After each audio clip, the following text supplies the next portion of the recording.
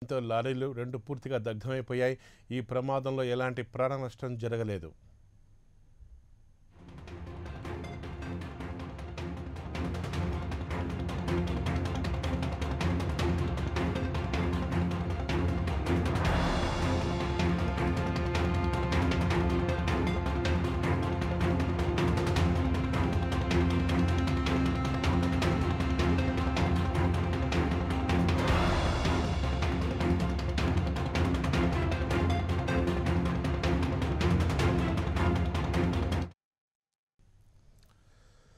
సూర్యాపేట జిల్లాలో ఘోర ప్రమాదం జరిగింది. కోతాడ చెక్ పోస్ట్ సమీపంలో నిన్న అర్ధరాత్రి ఆగి ఉన్న లారీని నిన్న అర్ధరాత్రి ఆగి ఉన్న లారీని వెనక నుంచి వచ్చిన మరో లారీ ఢీకొట్టింది ఈ ఘటనలో ఓ లారీ డీజిల్ ట్యాంక్ పగిలి మంటలు చెలరేగాయి. దీంతో రెండు లారీలు కూడా పూర్తిగా దగ్ధమైపోయాయి. ఈ ప్రమాదంలో ఎలాంటి ప్రాణ నష్టం జరగలేదు కానీ రెండు లారీలు మాత్రం పూర్తిగా దగ్ధమైపోయాయి. ఈ అంశానికి సంబంధించి మరింత సమాచారం మా నల్గొండ కరస్పాండెంట్ వెంకట్రెడ్డి మనకు అందిస్తారు వెంకట్రెడ్డి. గుడ్ మార్నింగ్ యశోనా పెరుగుతున్న వేసవి ఎండలకు ఇప్పటికే రాష్ట్రంలో పలు చోట్ల కూడా లారీలన్నీ కూడా వేటికవే తేలిపోతున్న పరిస్థితి అయితే మనకు స్పష్టంగా కనపడుతున్నాయి. నల్గొండ జిల్లాలో కూడా ఈ రోజు ఉదయం రెండు ప్రదేశాల్లో ఒకటి చౌటిప్పల్లో అదేవిధంగా మరొకటి కోదాడ వద్ద.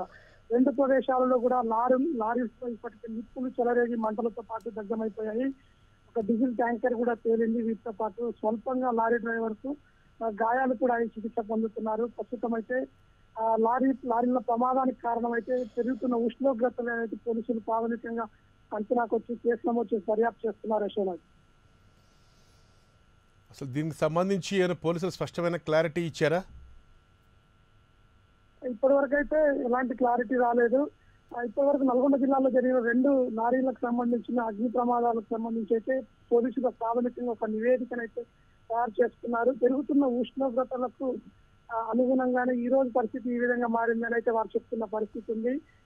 ఒక లారీ మంటలు చెలరేగిన వెంటనే పక్కనే ఉన్న మరొక లారీ కూడా మంటలు అంటుకోవడంతో రెండు లారీలు కూడా పూర్తిగా దగ్ధమైపోయాయి.